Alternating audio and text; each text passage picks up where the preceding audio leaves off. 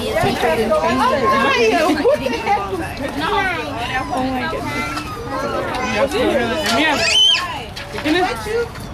Okay, pick those up, Clarice. Pick those up. Let's do the winner. No. Watch out, don't hurt yourself on your back.